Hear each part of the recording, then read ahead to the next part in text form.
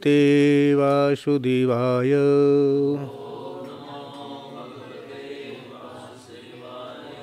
ॐ नमो भगवते वासुदेवाय।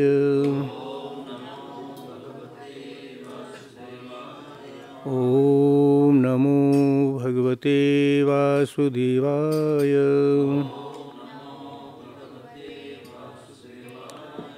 नारायणं नमस्कृत्य।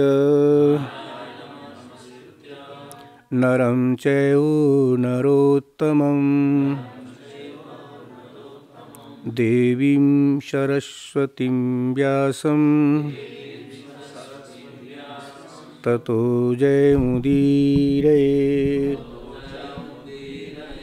नष्टप्रायेषु भद्रेषु।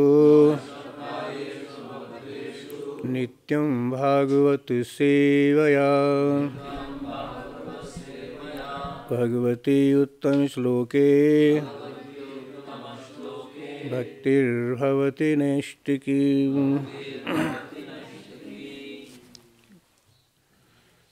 हरे कृष्ण। श्रीमद्भागवतम स्कंद दस अध्याय दो, श्लोक संख्या दस, ग्यारह, बारह। तीन श्लोक ना? अर्चयन्ति मनुष्यास्त्वाम् सर्वकाममहेश्वरीं। धूपोपहारबलिभिः। सर्वकामवरप्रदाम् नामधेयानि कुर्वन्ति। स्थानानि च नरा भुवे। दुर्गेति भद्रकालीते। विजया वैष्णवीति च। कुमुदा चण्डिका कृष्ण। माधवी कन्यकेति च। माया नारायणी शानी। नारदेत्यम्बिकेति च।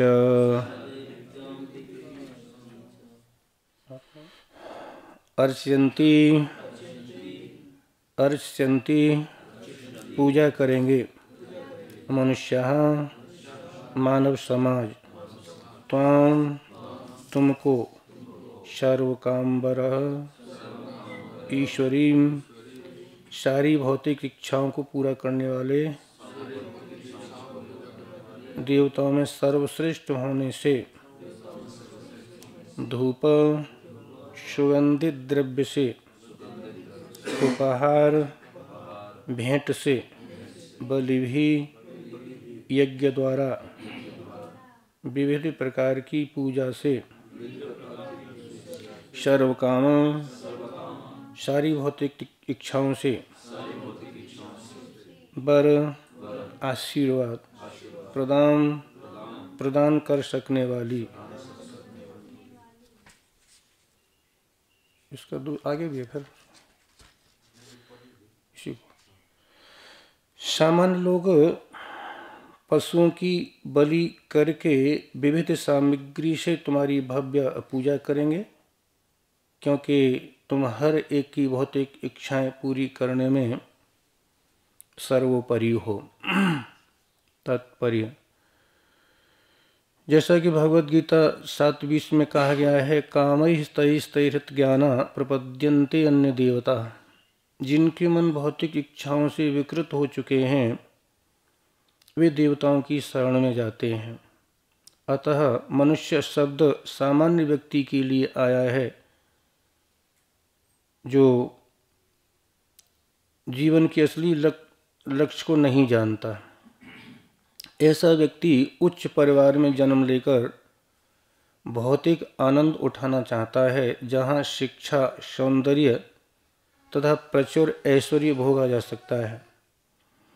जो इस भौतिक संसार में वांछनीय है, जीवन के असली लक्ष्य को भूल चुका है, वैसा व्यक्ति माया शक्ति अर्थात देवी दुर्गा की पूजा, विविध कार्यों के लिए विविध स्थानों तथा नामों से कर सकता है। जिस तरह भगवान श्री कृष्ण की पूजा हेतु भारत में अनेक पवित्र स्थान हैं, उसी तरह यशोदा की पुत्री के रूप में उत्पन्न दुर्गा देवी या माया देवी की पूजा के भी अनेक पवित्र स्थान हैं। कंस को छलने के बाद माया देवी सामान्य लोगों से नियमित पूजा स्वीकार करने के लिए अनेक स्थानों में, विशेष रूप से विंध्याचल में विकीर्ण हो गई। मनुष्य को तो वास्तव में आत्म तत्व अर्थात आत्मा का सत्य तथा परमात्मा को जानने में रुचि रखनी चाहिए। जो लोग आत्म तत्व में रुचि रखते हैं, वे पूर्ण पुरुषोत्तम भगवान की पूजा करते हैं। यस्मिन विज्ञाते सर्व एवं विज्ञातम भवती। फिर भी जैसा कि इस अध्याय के अगले श्लोक में बताया गया है, जो लोग आत्म तत्व को नहीं समझ सकते, अपश्यताम आत्म तत्व वे योग माया के विभिन्न रूपों की पूजा करते हैं, इसलिए श्रीमद में दो एक में कहा गया है, श्रुतव्यादीन राजेंद्र नणाम संति सहस्रशः अपस्ताम आत्मतत्व ग्रहेशु ग्रह मेघनाम हे राजन, जो लोग भौतिक संसार में फंसे हैं, वे परम सत्य के ज्ञान के प्रति अंधे होने के कारण मानव समाज में अनेक प्रकार के विषयों को सुनते रहते हैं, जो लोग इस भौतिक संसार में बने रहना चाहते हैं और आध्यात्मिक मुक्ति में रुचि नहीं रखते, उनके पास करने के लिए अनेक कार्य होते हैं। किंतु जो आध्यात्म मुक्ति में रुचि रखते, रखता है, उसका एकमात्र कर्तव्य होता है कि वह पूरी तरह भगवान श्री कृष्ण की शरण ग्रहण कर ले। सर्वधर्मान प्रत्यज माम एकम शरण ब्रज। ऐसा व्यक्ति भौतिक भोग में रुचि नहीं रखता। भगवान श्री कृष्ण ने माया देवी को यह कहकर आशीर्वाद दिया, लोग तुम्हें पृथ्वी पर विभिन्न स्थानों में विभिन्न नामों से पुकारेंगे। यथा दुर्गा, भद्रकाली, विजया, वैष्णवी, कुमदा, चंडिका, कृष्णा, माधवी, कन्यका, माया, नारायणी, ईशानी, शारदा तथा अंबिका। तात्पर्य, क्योंकि भगवान श्री कृष्ण तथा उनकी शक्ति साथ साथ प्रकट हुए, अतः लोगों ने सामान्यतः दो समूह बना रखे साक्त तथा वैष्णव। और कभी कभी दोनों में स्पर्धा चलती है। सार रूप में जो लोग भौतिक भोग में रुचि रखते हैं, वे साखते हैं, और जो आध्यात्मिक भोग तथा आध्यात्मिक धाम प्राप्त करने में रुचि रखते हैं वैष्णव हैं। क्योंकि लोग सामान्यतः भौतिक लोग में रुचि रखते हैं, अतः वे श्री भगवान की शक्ति, माया देवी की पूजा करते हैं। किंतु वैष्णव जन शुद्ध शाक्त अथवा शुद्ध भक्त होते हैं, क्योंकि हरे कृष्ण महामंत्र श्री भगवान की शक्ति हरा की पूजा को सूचित करता है।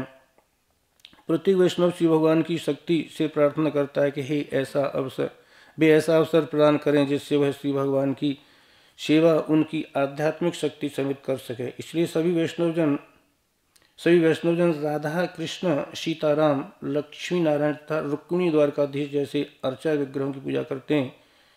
जबकि दुर्गा दुर्गा साक्त लोग भौतिक शक्ति की पूजा विविध नामों से करते हैं। माया देवी जिन जिन नामों से विभिन्न स्थानों में जानी जाती हैं, उनकी सूची वल्लभाचार्य ने दी है। वे वाराणसी में दुर्गा अवंती में भद्रकाली, उड़ीसा में विजया और कोल्हापुर में वैष्णवी या महालक्ष्मी कही जाती हैं। महालक्ष्मी तथा अंबिका की प्रतिनिधि मुंबई में भी है। वे कामरूप प्रदेश के, वे कामरूप प्रदेश में चंडका, उत्तर भारत में शारदा तथा कुमारी अंतरीप में कन्या कहलाती हैं। इस तरह वे विभिन्न स्थानों में विभिन्न नामों से अनुसार जानी, विभिन्न नामों के अनुसार जानी जाती हैं। श्री श्री विजयध्वज तीर्थपाद ने पाद रत्नावली टीका में विभिन्न नामों की व्याख्या की है। माया को दुर्गा इसलिए कहते हैं क्योंकि उन्हें कठिनाई से प्राप्त किया जाता है। उन्हें शुभ होने से भद्रा और गहरे नीले रंग की होने से काली कहा जाता है। अत्यंत शक्तिशाली होने से विजया और विष्णु की विभिन्न शक्तियों में से एक होने के कारण उन्हें वैष्णवी कहलाती हैं। भौतिक जगत का भोग करने तथा भोग की शोधाएँ प्रदान करने के कारण कुमुदा शत्रुओं असुरों के प्रति कठोर होने के कारण चंडिका और समस्त भौतिक सुविधाएँ प्रदान करने के कारण कृष्णा कहलाती हैं। इस तरह भौतिक शक्ति के विविध नाम हैं और वे पृथ्वी पर विभिन्न स्थानों में स्थित हैं।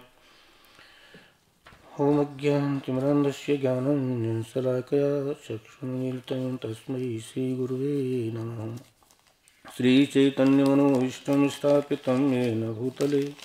स्वयं रूप कदा मह्यं ददाति स्वपदान्तिकं वन्देऽहं श्रीगुरो श्रीपदकमलं श्रीगुरुन् वैष्णवांश्च श्रीरूपं सग्रजातं सहगण रघुनाथान्वितं तं सजीवं। साद्वैतं सावधूतं पर्जन्सहितं कृष्णचैतन्यदेवं। श्रीराधाकृष्णपदानुसहगं ललिता श्रीविशाखान्वितांश्च हे कृष्णकरुणा सिन्धो दीनबन्धो जगत्पते। गोपेश गोपिकान्त राधाकान्त, नमोऽस्तु ते। तप्तकाञ्चन गौराङ्गी श्रीराधे वृन्दावनेश्वरी वृषभानुसुते देवीं प्रणमामि हरिप्रिये नमो महावदन्याय कृष्णप्रेमप्रदायते कृष्णाय कृष्णचैतन्य नामिनी गौरत्वसे नमः। वाञ्छाकल्पतरभ्यश्च कृपासिन्धुभ्येव च। भक्तानां पापनेभ्यो, वैष्णवेभ्यो नमो नमः। जय श्रीकृष्णचैतन्य प्रभो नित्यानन्द। श्री अद्वैत गदाधर शिवासादि गौरभक्तवृन्द हरे कृष्णा हरे कृष्णा कृष्णा कृष्णा, हरे हरे। हरे राम हरे राम राम राम, हरे हरे। श्री राधे। हरे कृष्ण। तो ये कथा बड़ी सुंदर चल रही है। और कथा इस प्रकार है। कि जब कंस को ये मालूम हुआ आकाशवाणी के द्वारा के देवकी की आठवीं संतान मेरा काल होगी तो देवकी को मारने का बहुत प्रयास किया, पर वसुदेव जी ने एक वचन दे करके देवकी की प्राण की रक्षा की कि, राजन, तुम्हें देवकी से तो कोई भय नहीं है भय देवकी के पुत्रों से है। तो मैं वचन देता हूँ कि जो भी देवकी की संतान होगी, मैं आपको ला करके दे दूँगा। कंस जानता था कि बस देव जी सत्यवादी हैं, सत्य बोलते हैं, कभी झूठ बोलते नहीं, जो कहते हैं वो करते हैं। तो ये बात मान ली, बस देव जी और देवकी को छोड़ दिया। और जी, देव की रहने लगे। जब उनकी संतान हुई तो अपने वचन के अनुसार बसदेव जी पहले बालक को कंस के पास लाए। राजन, ये पहला बालक है और जो मैंने वचन दिया था, वो मैंने पूरा किया। जो भी जाने कर सकते हैं। तो कंस बसदेव जी की ये सत्यता देख कर के कंस के हृदय में दया आ गई। और कहा कि ये बालक तो निर, निर्दोष है इससे हमें कोई खतरा या भय नहीं है। भय तो देवकी की आठवीं संतान से है। इससे आप ले जाओ पर यह ध्यान रखना कि आठवीं संतान जो उसे ज़रूर लेके आना। तो बसदेव जी ने विचार किया, इसके हृदय दया कैसे आ गई? तो उस बालक को लेकर के बसदेव जी वापस तो आ गए, पर मार्ग में सोच रहे कि दुष्ट लोगों की बात का कोई विश्वास, भरोसा तो नहीं होता, वो कब पलट जाए इधर नारद जी ने विचार किया कि कंस यदि ऐसी दया दिखाता रहा, तुम्हारे प्रभु का अवतार होने में फिर विलंब होगा, देरी होगी। तो जल्दी अवतार हो। तो नारद जी वहाँ पर कंस के पास आए। कंस ने नारद जी का खूब स्वागत, सत्कार किया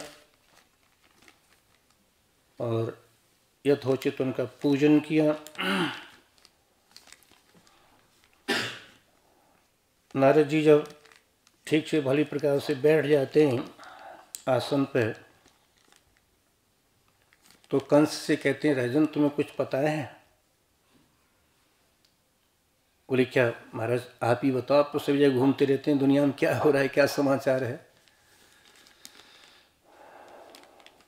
नारद जी बोले, तुम्हें पता है, जो ब्रज में जितने भी नंदाद्याय ब्रजे गोपा याश्चा मीशा योषता वृष्णयो वसुदेव आद्या, देवक्याद्या यदु स्त्रिय, सर्वे वही देवता प्राय। सर्वे वही देवता प्राय उभयोरपि भारत। ज्ञातयो बंधुसुहृदो ये च कंसमनुव्रता। नारद जी बोले कि, राजन, जानते हो, जो ब्रज में नंद आदि हैं, नंद आदि योषता उनकी स्त्रियाँ हैं, और ये जो मथुरा में बसदेव आदि जो यदुवंशी हैं और इनकी स्त्रियाँ हैं, ये सर्वे वही देवता पर, ये सब के सब देवता है।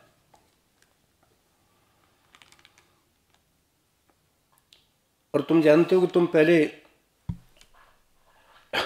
कालनेमी नाम के असुर थे, और जब देवासुर संग्राम हुआ था समुद्र मंथन के समय तो उस समय भगवान विष्णु तुमको मार ही दिया था। उस युद्ध में तुमको मार ही दिया था। और शुक्राचार्य जी संजीवनी के द्वारा तुमको जीवित कर दिया था। फिर बाद में फिर युद्ध हुआ। और फिर तुम परास्त हो गए थे भगवान विष्णु से। और ये कथा आती भी है, उसमें गर्ग संहिता में आती है कि भगवान विष्णु से परास्त होकर के ये कालनेमी असुर तपस्या करने के लिए वन में चला गया था। और देवताओं की सौ वर्ष, हज़ार वर्ष ऐसा कुछ, देवताओं के हज़ार वर्ष तक सौ वर्ष तक। देवताओं के सौ वर्ष तक इसने तपस्या करी। हमारे वर्षों से देवताओं बहुत बड़ी काफ़ी समय होता ना। तपस्या की, ब्रह्मा जी की, ब्रह्मा जी की तपस्या की, ब्रह्मा जी प्रसन्न हुए, आए, वरदान मांगो, क्या चाहते हो? तो बोले, वरदान भी चाहता हूँ कि मैं किसी भी देवताओं के द्वारा नहीं मारा जा सकूँ, है ना? कोई भी देवता मेरा कुछ नहीं कर, नहीं मारा जा सकता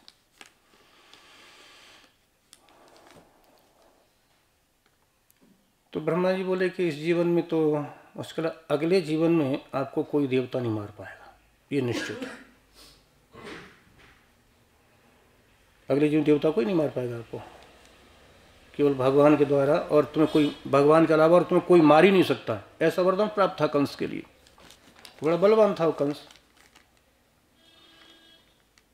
तो नारद जी ने सारी बात बताई उसे कि तुम जानते हो कि अब देवता तुमको इस बार भी मारने का और उपाय सोच रहे हैं।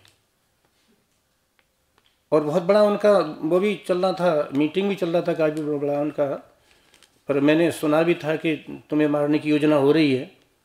और ये सब के सब जो यदुवंशी हैं, ब्रज में नंद बाबा और ये यदुवंशी सब के सब देवता हैं। तो इतनी बात जब कही उसने, उन्होंने नारद जी ने जब इतनी बात कही, उस कंस को सुनाई तो कंस बड़ा एकदम क्रोध में आ गया। तो नारद जी के चले जाने के बाद अब कंस ने विचार किया क्या करना चाहिए? तो अब उस हाँ, कंस ने अपने मंत्रियों को बुलाया। एक आपातकालीन मीटिंग की उसने है ना? आपातकालीन मीटिंग जो रही। Emergency meeting. और अपने सारे मंत्रियों को बुलाया। और मंत्री कौन थे? सारे के सारे सो थे। हम्म। प्रलंब प्रलंब है ना? प्रलंब, बाणा, प्रलंब और सब दिया एक श्लोक दिया अच्छा कौन कौन थे उसमें? प्रलंब बक प्रलंब बक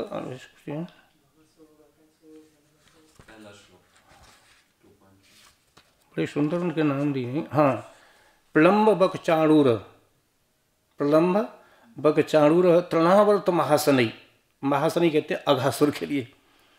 तृणावर्त महासनई, मुष्टिक द्विद पूतना केसी धेनु केसी धेनु, केसी धेनुकई। पूतना केसी धेनुकई। मुष्टिकारिष्ट द्विविध पूतना के धेनुकई। अन्य असुर भूपाल और अन्य और भी जो राजा थे जो दुष्ट लोग थे, जैसे बाणासुर है जरासंध इत्यादि, वो उनकी सहायता करते थे। तो प्लम्ब बग चाणूर ऐसे उसके मंत्री थे। और ये मंत्री जो है ना, बड़ा सुंदर कथा आप लोगों शायद पढ़ी होगी ना, गर्ग संहिता है ना? कि प्रलम्बासुर को, बकासुर को और सबको इन कैसे अपना वो बनाया? बड़ी सुंदर कथा आती है, कि थोड़ा सा बता, संक्षिप्त कहूँगा। कि एक बार कंस दिग्विजय के लिए निकला था, दिग्विजय के लिए। और अधिकांश ने राजाओं को जीत लिया। नहीं, कंस नहीं, वो जरासंध। एक बार जरासंध दिग्विजय को निकला था सभी लोगों को जीतने के लिए।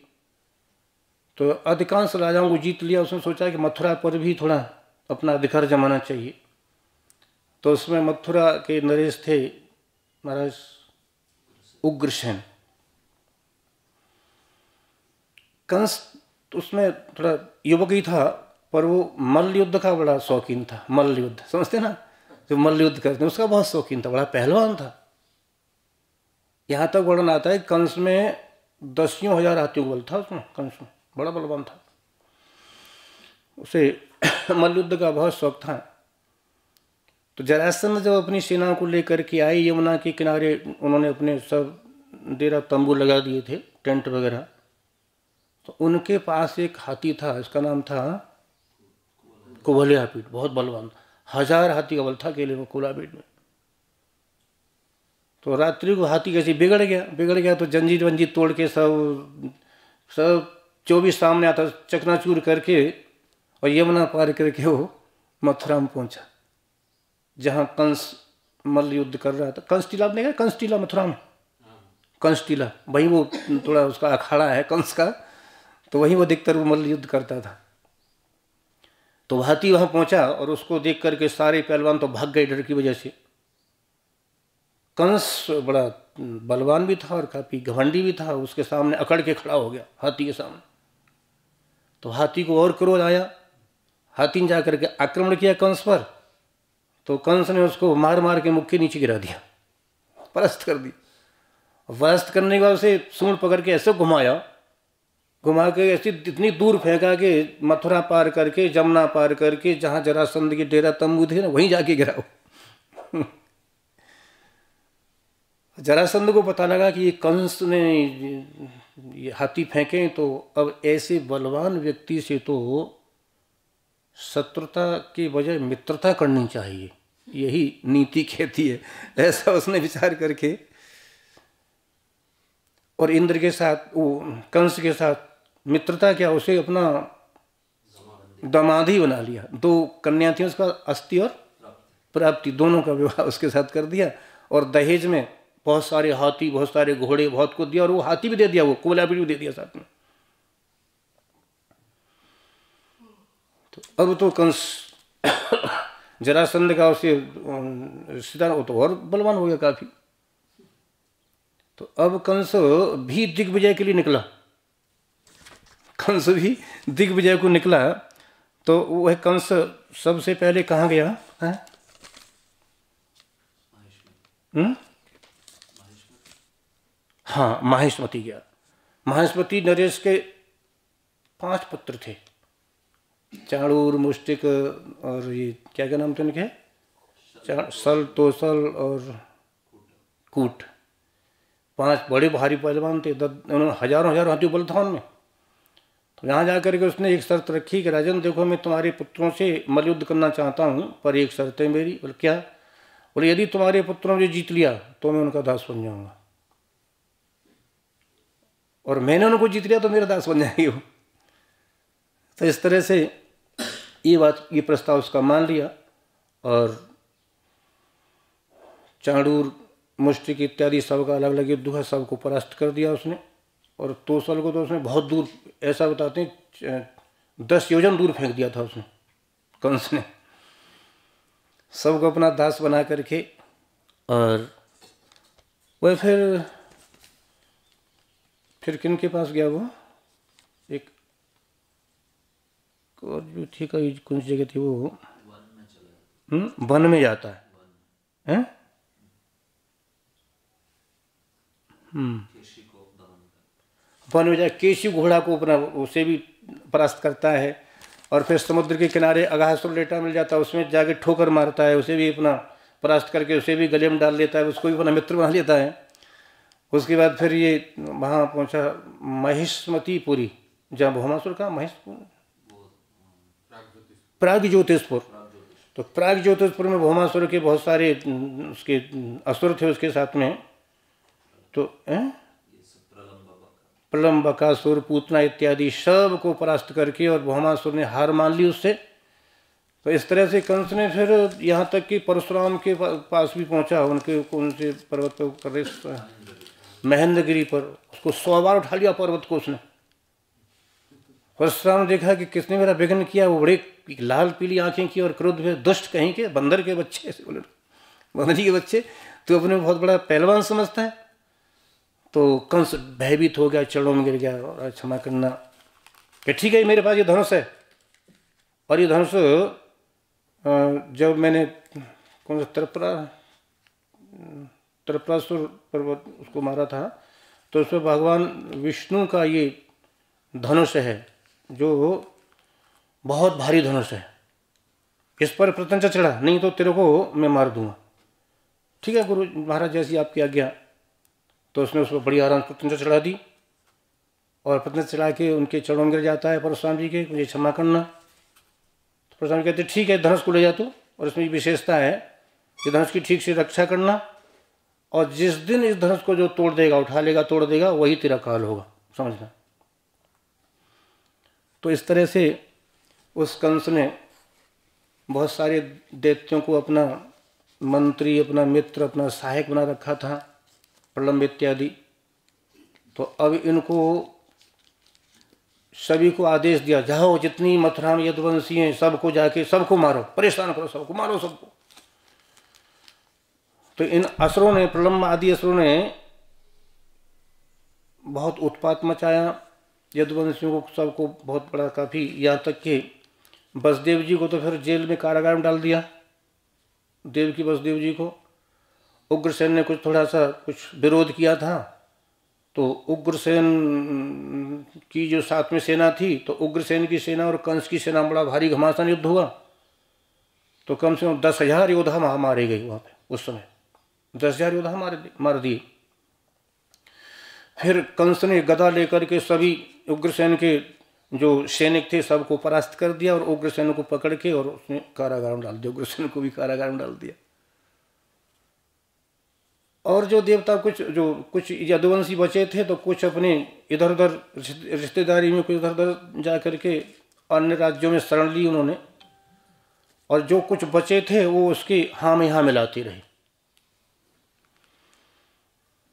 तो इस तरह से कंस ने जब भारी, बहुत भारी उत्पाद किया, और यहाँ तक कि देवकी के एक एक करके छह छह पुत्रों को भी मार दिया उसने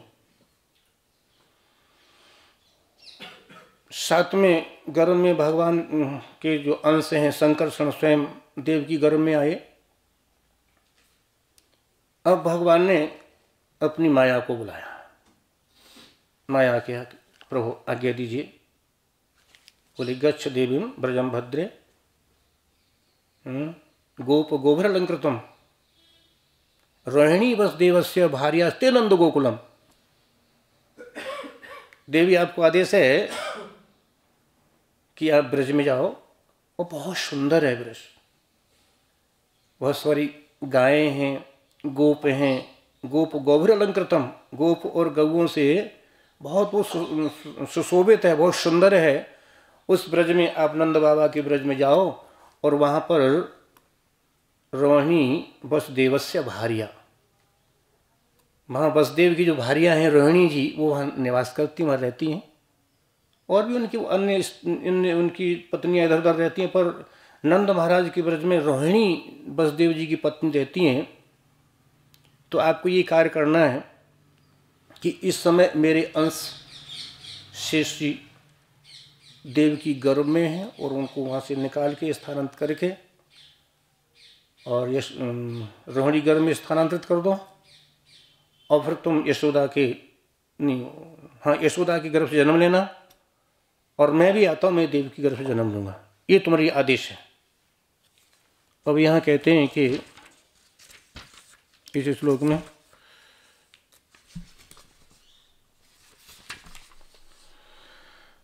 यदि तुम ऐसा करोगी तो अर्चयंती मनुष्य मनुष्याम ताम सर्व काम वरीश्वरी।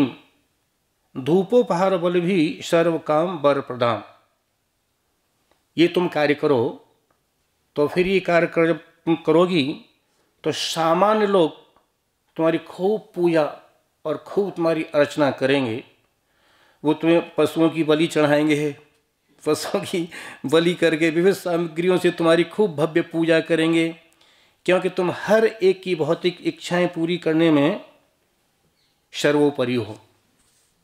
हम्म? मैं तुम्हें शक्ति क्यों ये भी शक्ति भगवान की प्रदान की हुई है ना? मैं तुम्हें शक्ति प्रदान करता हूँ कि जो भी तुम्हारी भौतिक इच्छाओं को चाहने वाली तुम्हारी पूजा करेंगे तो उनमें तुम उनकी इच्छाएँ पूरी करने में सर्वोपरि होगी। सर्वोपरि, भौतिक इच्छाओं पूरी करने के लिए। शील प्रभुपा जी कहते हैं कि जैसा श्रीमद भगवत श्रीमद भगवत गीता में कहा गया है कि काम तयित ज्ञान प्रपद्यंते अनदेवता भगवान गीता में कहा है कि जो लोग संसार की भौतिक इच्छाओं को चाहते हैं, इनकी भौतिक कामनाएँ होती हैं तो अन्य अन्य देवताओं की शरण में जाते हैं और देवता उनको इच्छित वस्तुओं को प्रदान करते हैं। तहसील बाबा जी कहते हैं कि जो भौतिक इच्छाओं वाले हैं, जो भौतिक इच्छाओं जो विकृत हो चुके हैं, वे देवताओं की शरण में जाते हैं। अतः मनुष्य शब्द सामान्य व्यक्ति के लिए आया जो जीवन के असली लक्ष्य को नहीं जानता। ऐसा व्यक्ति उच्च परिवार में जन्म लेकर भौतिक आनंद उठाना चाहता है, भोगेश्वरी प्रसक्ता नाम तो या फिर चेतसा वो ये चाहता है कि बस मेरे ऐश्वर्य और नाना प्रकार के भोग ऐश्वर्य उसको मिले। वो ये चाहने के लिए अन्य अन्य देवताओं की शरण ग्रहण करता है।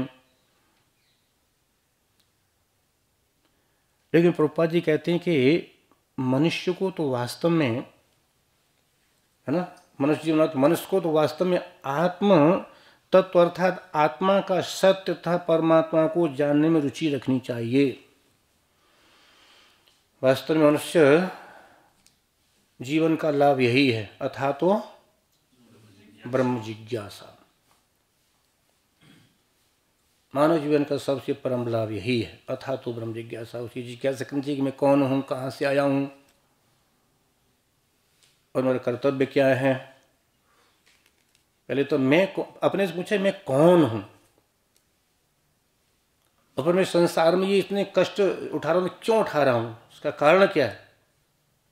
तो उन कष्टों से, उन दुखों से निकलने का उपाय एक मत मानव ही सोच सकता है। मानव इतनी बुद्धि दी हुई है। यहाँ शील प्रभुपाद जी ने बहुत सुंदर श्लोक कोट किया है कि श्रोतव्यादि राजेंद्र नणाम संति सहस्रश अपश्यताम आत्म तत्व ग्रह सुग्रह मेघना कहते हैं, जो व्यक्ति यदि आत्म तत्व जानने का प्रयास नहीं करता है, ऐसे लोग संसारों, बहुत सारी संसार में अनेक अनेक बातें करते रहेंगे। संसार की बातें करते रहेंगे, संसार की बातें सुनते रहेंगे। लेकिन भगवान के बारे में न कुछ कहेंगे, न भगवान के बारे में सुनेंगे। ये भागवत का दो, दूसरे स्कंद का दूसरा श्लोक कोट किया प्रभुपा जी ने, और इससे पहले है कि जो महाराज परीक्षित ने प्रश्न किया था सुखदेव गोस्वामी से बरिया ने प्रश्न कृतो लोग नृपा आत्मित हम्म? सम्मता पुंसा श्रोतव्यादिशु ये अपरा तो जब बड़ा सुंदर प्रश्न किया था महाराज परीक्षित ने कि मानव जीवन का हम्म, जो मानव जो मानव जीवन जो वर्णासन व्यक्ति है उसका वास्तव में कर्तव्य क्या है? उसे किसका भजन, किसका कीर्तन, किसका स्मरण, किसका पूजा करनी चाहिए? तो सुखदेव गोस्वामी गदगद हो गए, राजन, तुमने बहुत सुंदर प्रश्न किया है सूत्र हम्म? बरियानेश ते प्रश्न। बरियानेश ते प्रश्न। आपका प्रश्न श्लाघनीय है, प्रशंसनीय है। क्यों? बोले, कृतो लोग हितन रपा आपका प्रश्न केवल आपके कल्याण के नहीं है, संपूर्ण लोगों के, संपूर्ण लोगों के कल्याण के लिए है। और बड़े बड़े आत्मज्ञानी बड़े बड़े संत पुरुष ऐसे प्रश्न की सराहना करते हैं। नहीं तो श्रोतव्य राजेंद्र नाम बहुत से लोगों के पास जो केवल घर गृहस्थी में अहम ममेती में फंसे हुए, अहम ममेती, उसमें फंसे हुए उनके पास संसार की बातें कहने के लिए, सुनने के लिए होती हैं। तो वास्तव में मानव जीवन का यही सबसे बड़ा कल्याण इसी में है, सुखदेव गोस्वामी आगे कहा है कि एतावान सांख्य योगाभ्याम हम्म? ये ना कितना अच्छा है। आगे क्या है? स्वधर्म पर निष्ठया जन्म लाभ पर पुंसाम अंते नारायण स्मृति। ही सुखदेव जी ने पूरा, मानव जीवन का पूरा सार बता दिया इस श्लोक में। कि वास्तव में मानव जीवन तो हमें भगवान कृपा से मिल गया वो बड़े भाग्य से मिला है हमें। तो अब इसका वास्तव में लाभ क्या है? एतावान सांख्य योगाभ्याम स्वलाह पर स्वलाह परनिष्ठया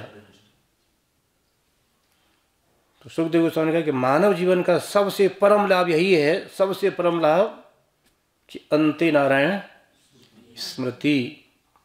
तो अंत में भगवान नारायण स्मृति कब होगी? जब सदा तदभाव भावित जब हमेशा इसी भाव से भावित रहेंगे, तभी अंतिम समय में भगवान नारायण का हमें स्मरण होगा। हालाँकि यहाँ तक कहा है शास्त्रों में कि मनुष्य के अंतिम समय में भगवान का भगवान का नाम बाणी पर आ जाए, कोई गारंटी नहीं। बड़े बड़े ऋषि बड़े बड़े मुनि खूब प्रयास करते हैं, खूब जप करते हैं खूब प्रयास करते हैं, पर अंतिम समय भगवान का नाम स्मरण हो जाए, कोई गारंटी नहीं। परंतु प्रभुपाद जी ने ऐसा बढ़िया उपाय कर दिया है हम्म, अंतर्राष्ट्रीय कृष्ण भावना अमृत संघ। जो लोग कृष्ण भावना से भावित हो जाएँ ऐसा संघ प्रभुपाद जी ने बनाया तो लोगों का असली लाभ इसी में होगा। तो प्रभुपा जी लोगों के असली कल्याण के लिए प्रभुपा जी ने कितना बढ़िया संघ बनाया। इंटरनेट सोसाइटी किस लिए? फॉर कृष्ण कॉन्सियसनेस जो लोग कृष्ण कॉन्सियसनेस हो जाए, कृष्ण भावना भावित हो जाए तो उनका अंतिम समय भगवान का स्मरण हो और उनका कल्याण हो। तो यहाँ पर भगवान ने उनसे कहा, देवी से देवी, तुम जाओ, ये कार्य करो और लोग तुम्हारी खूब सेवा पूजा करेंगे और तुम अनेकों अनेकों नामों से जानी जाओगी वहाँ पर। नाम ध्येयानी कुरवंती स्थानानी च नरा भूवि। यानी भूवि लोक में, पृथ्वी लोक पर तुम्हें अनेक अनेक नामों से लोग तुम्हारी पूजा करेंगे।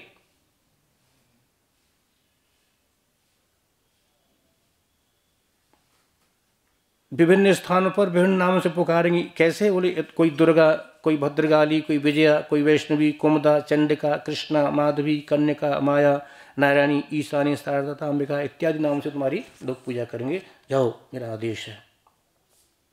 तो भगवान जी अपनी माया को आदेश दिया। तो यहाँ शील प्रभुपा जी कहते हैं कि माया को दुर्गा इसलिए कहते हैं क्योंकि उन्हें कठिनाई से प्राप्त किया जाता है।